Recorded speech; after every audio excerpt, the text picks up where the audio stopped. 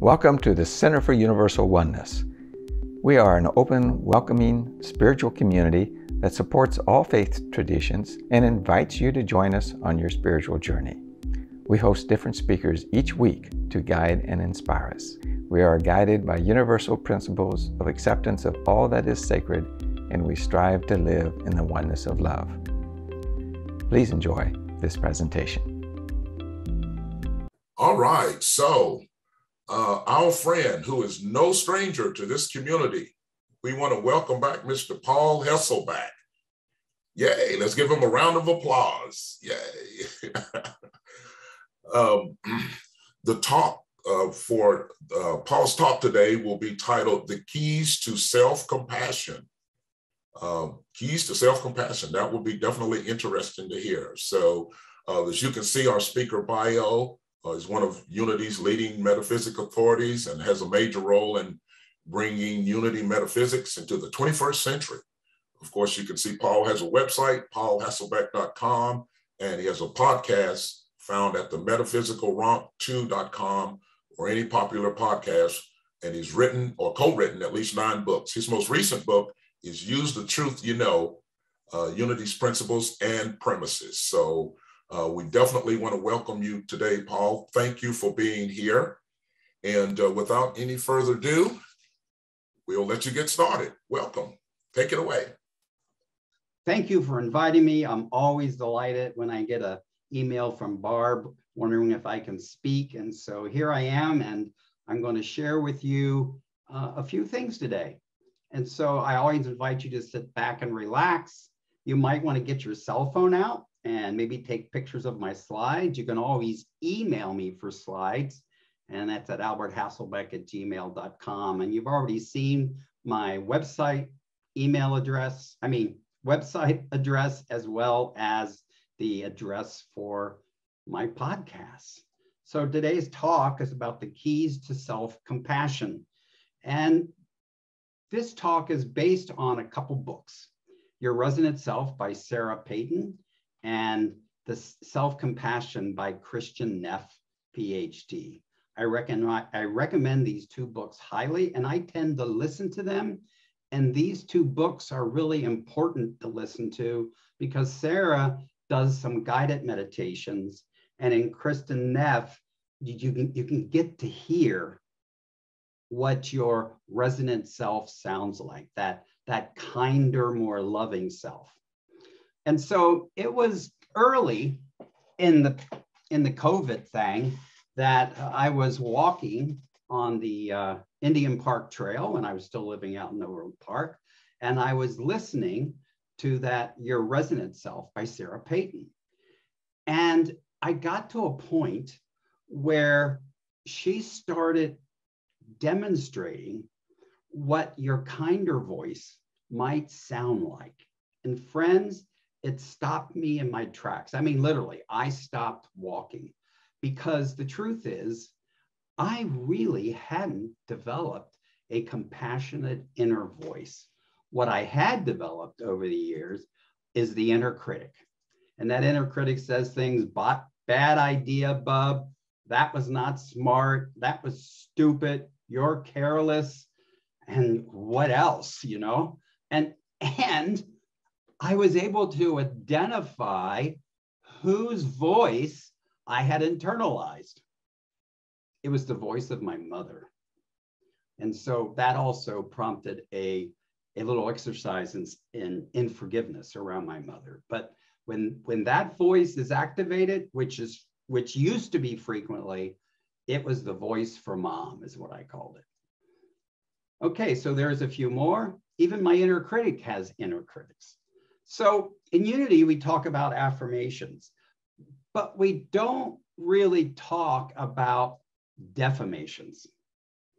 Defamation is a negative affirmation. When we are in that inner critique mode, we are defaming ourselves as our humanity and as our divinity. So it's important we learn ways to be kinder with ourselves. And so I just read this in uh, Anthony Newberg. The words we use even ordinary words are strong enough to, drum roll, change our brains and affect the expression of genes that regulate stress levels. That is an astounding piece of information. And I recommend almost any book from Anthony Newberg. And so the thing is, in a way, at least the culture I was raised in, self criticism is part of it. And here's what Charles Fillmore had to say. Now, I updated this. In our mere human judgment, we are hard and heartless. We deal out punishment without consideration of motive or cause, and justice goes awry. And then Kristin says strong individuals should be stoic and silent toward their own saying. Now, that's based on her study, and her studies are really huge. She probably is the number one authority on self compassion, probably in the world. But she found that in our cultures, strong individuals should be stoic and silent toward their own suffering. And I can remember my mother saying, when I hurt myself and fell down and was crying, she would say, Paul, you're a Hasselbeck. You're supposed to be strong and not cry. And so that's another saying that's in my mind. So another thing she discovered is self-kindness is not a culturally valued response. I found that astounding. So when that inner voice is going, sometimes I'm just like, I need a hug. Do you ever feel that way? And so go ahead right now. Give yourself a hug right now. Yep, yep. The thing is, your brain doesn't know if someone else is hugging you or you're hugging you in a way. What you're doing is transmitting signals that will release oxytocin. Woohoo! And give us a little high. So there are three compo components to self-compassion. And so I've been practicing this, practicing this for about two years now. I've been retraining myself away from the inner critic to this higher, kinder voice. So the three components are be kind to ourselves, recognition of our common humanity, and mindfulness. So let's look at these a little more deeply. Being kind to ourselves, be gentle and understanding of ourselves rather than harshly critical and judgmental. So as soon as I'm aware that I'm in self critical mode, I take a deep breath a few times to ground myself better, to center myself better. I remember that the principles of generosity and benevolence are 100% present at the point of me. And so then I start some inner dialogue and it's it sounds something like this. Even so, I offer myself kindness and grace. In spite of this, I love myself just as I am. Even so, I love and honor myself. In spite of this, I love and accept myself. Now, some of these phrases comes from my work with tapping, emotional freedom technique, because in tapping, you'll tap something on using this point and and then the the end of the phrase is even so I love, honor and accept myself. The second thing is recognition of our common humanity. I didn't realize how big this is. So when we recognize our common humanity, we start to feel connected with others in the experience of life rather than feeling isolated and alienated by our suffering. Now, let me stop there for a moment because I have to say, I had an allergy for the longest time about the word suffering. Whenever anybody brought up Buddhism and suffering, however, I think it's now in my mind important that we recognize suffering, not as a way to wallow in it, but in a way to be with it and live through it.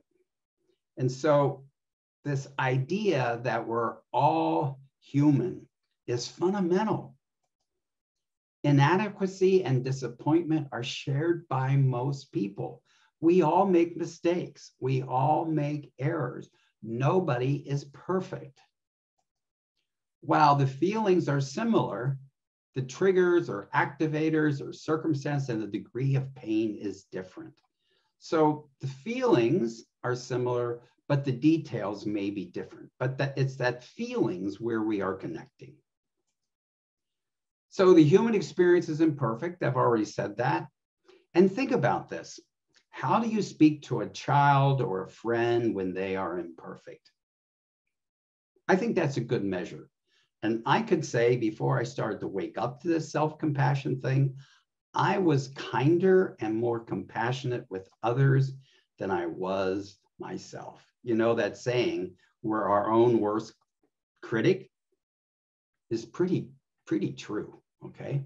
And, and just in case, a clear conscience might be a sign of a faulty memory.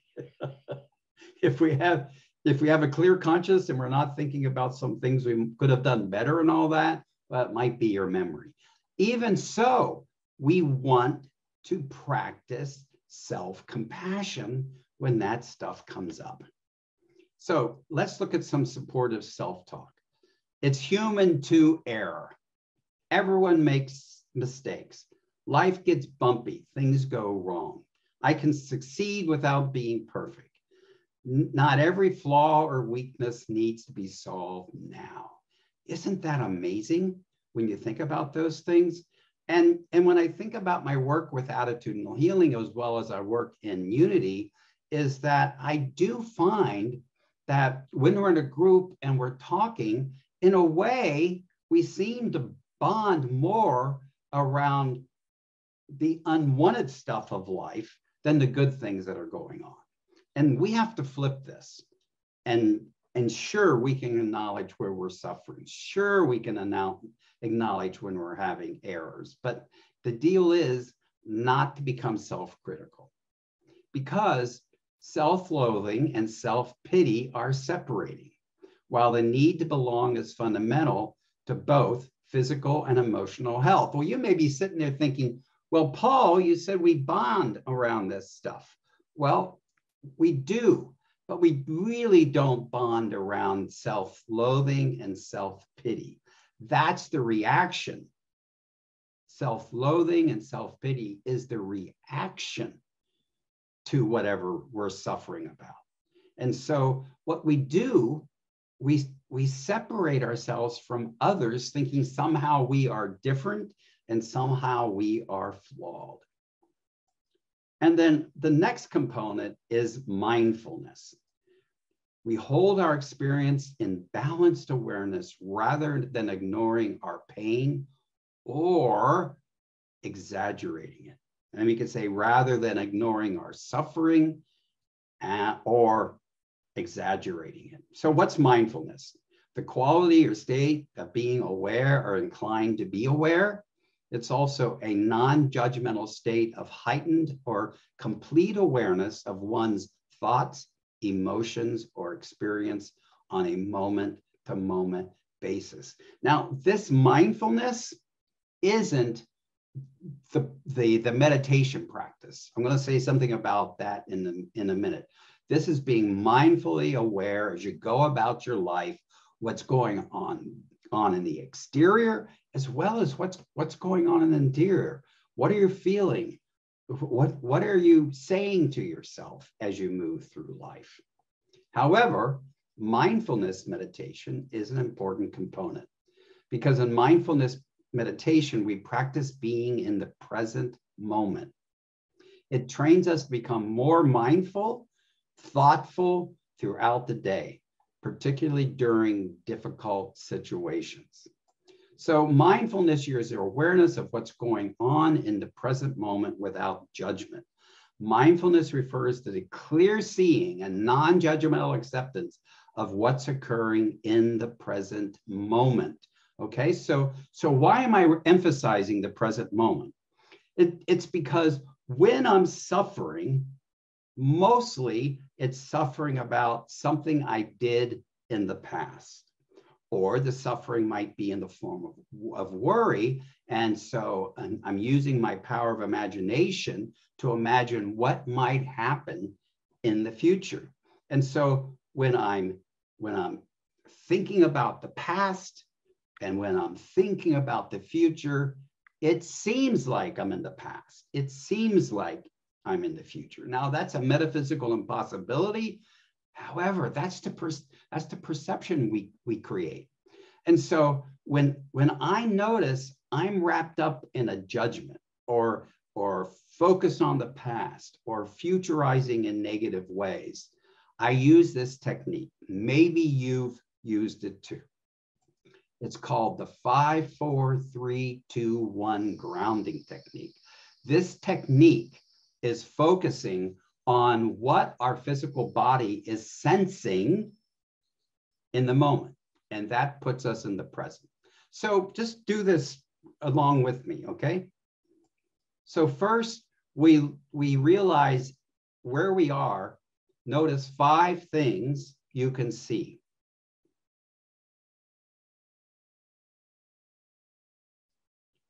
And notice four things you can touch.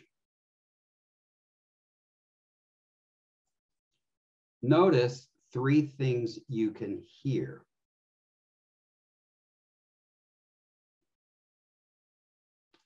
Notice two things you can smell. And then notice one thing you can taste. And take a deep breath and just notice if you feel more in the present moment right here and now. I find this exercise disconnects me from being in the past re- with regrets and suffering or or futurizing. It, it grounds me right into the present moment. And this is essentially a noting technique. Helps us become more consciously aware of what we're experiencing in the present. It can be used in any situation Every time you become aware of a new experience, make a note of it.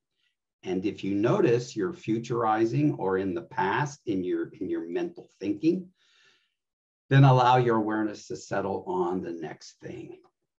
So the importance of mindfulness is we don't have to believe every thought or emotion is real or true.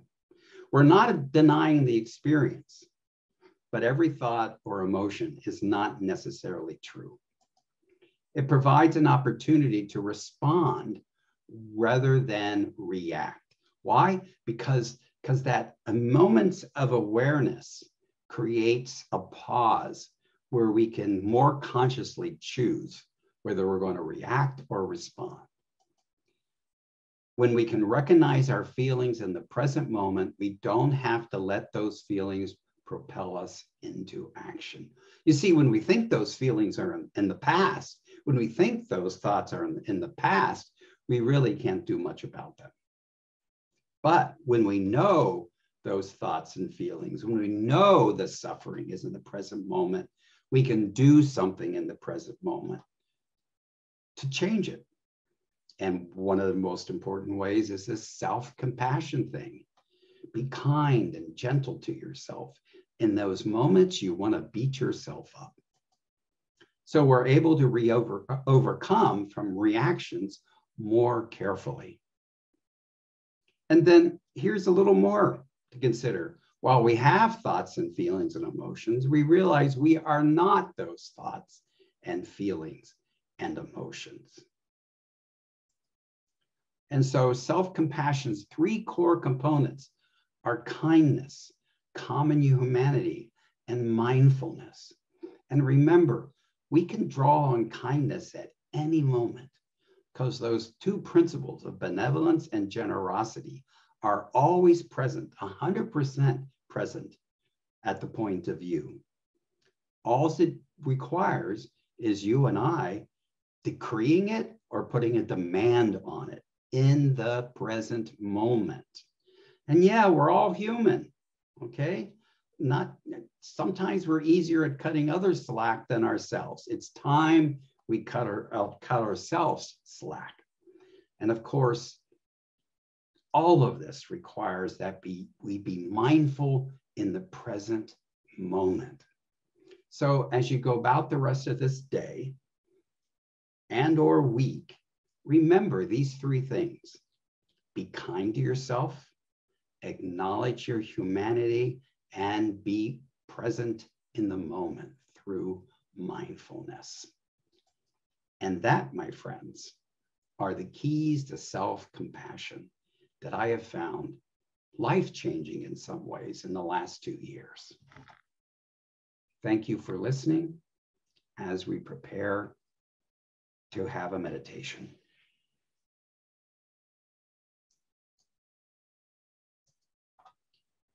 And so, as a way to do that, let's begin with the five, three, two, one exercise again. First, give yourself a good old hug. Yeah, uh huh. Appreciate yourself. And then think of five things you can see, four things you can touch.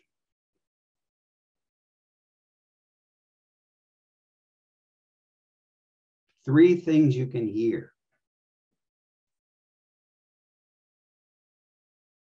Two things that you can smell. And one thing you can taste.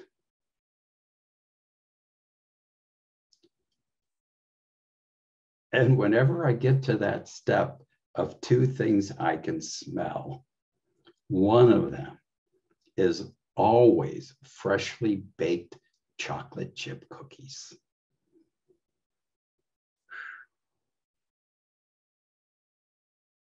And so we continue to breathe gently in and out,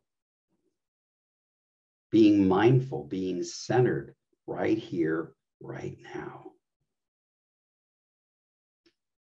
Knowing that you and I are 100% divine and 100% human.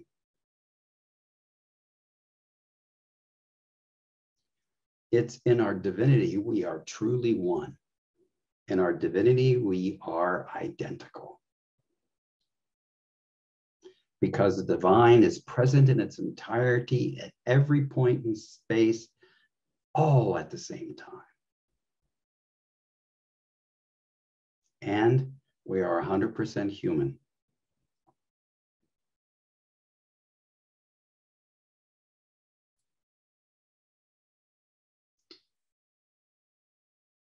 And in our humanity, we do make mistakes.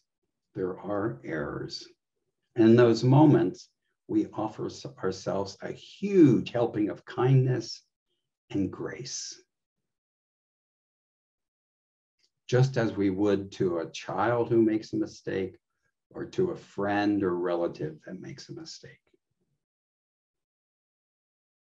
So, right now, maybe there's something that you considered a mistake you did in the last week or so. And in some way, you've been creating some internal suffering around that. See yourself being kind to yourself. See yourself speaking words of love and comfort.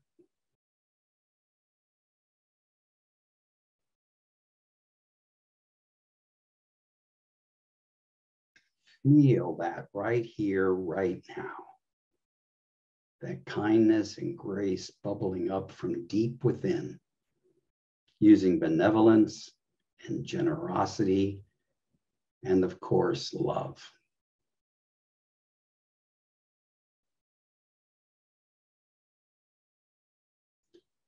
And as a closing affirmation, let us say, you can repeat this after me I love myself just the way I am.